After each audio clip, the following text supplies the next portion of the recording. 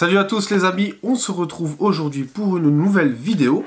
Et aujourd'hui j'avais envie de te partager mon entraînement jambes, car je, reviens euh, à l'instant d'un entraînement jambes. Euh, je te cache pas que je suis bien lessivé. Et euh, j'ai eu pas mal de questions de, personnes dans ma salle pour avoir des idées concernant les entraînements jambes.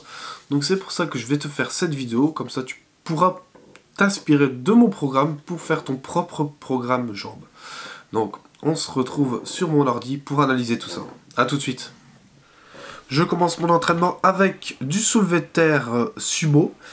Donc je fais 3 euh, séries, 6 répétitions, je fais assez lourd.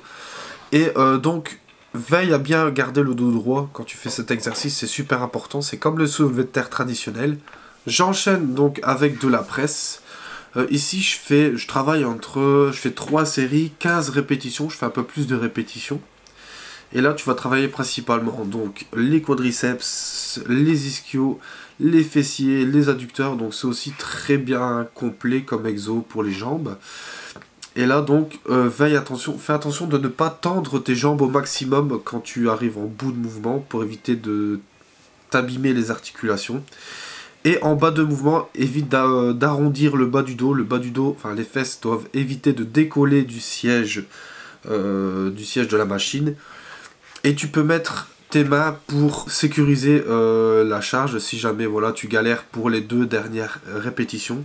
Donc ici j'enchaîne avec le front squat. Donc le front squat c'est vraiment l'exo qui me donne le plus de fil à retordre dans mes séances jambes. Je suis vraiment lessivé après, euh, après que j'ai fait mes trois séries. Donc je fais trois séries de 12 répétitions qui vont mettre plus l'accent sur l'avant de la jambe, donc sur les quadriceps. Et donc, euh, quand je fais le mouvement, je fais bien attention de descendre assez bas, avoir une belle amplitude complète, et ne pas descendre non plus trop bas. Après, voilà, c'est une question euh, de souplesse, de mobilité.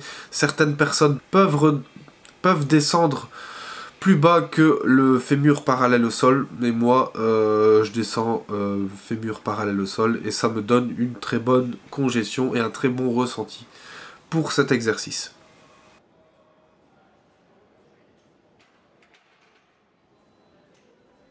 Donc ici, on continue avec des fentes. Donc pour les fentes, c'est pas forcément nécessaire de toucher ton genou au sol. Euh, garde tout de même plus ou moins 10-15 cm euh, par rapport au sol.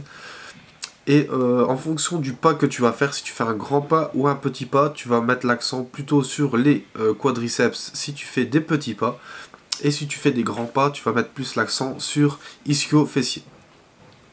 Et là, je fais 3 séries, 12 répétitions. Je continue donc avec du leg extension. Donc le leg extension c'est un exo qui va, enfin c'est une machine qui va plutôt isoler le quadriceps. Donc ici pour euh, l'entraînement que j'ai fait, j'ai fait 3 séries, 25 répétitions. Étant donné que c'est euh, plutôt un exercice de finition, j'aime bien faire plus de reps. Et euh, là je te garantis que j'ai une très bonne congestion à la fin de mes 3 séries. Donc ici on arrive tout doucement vers la fin de l'entraînement. Euh, donc là je suis en train de faire du soulevé de terre jambes tendues alter qui va mettre plutôt l'accent sur les ischios fessiers et aussi un petit peu les lombaires. Donc là je fais 3 euh, séries, 12 euh, à 15 répétitions.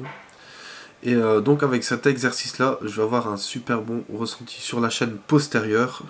Et ça donnera vraiment un bon équilibre entre les quadriceps et donc le faisceau postérieur qui est ischio-fessier.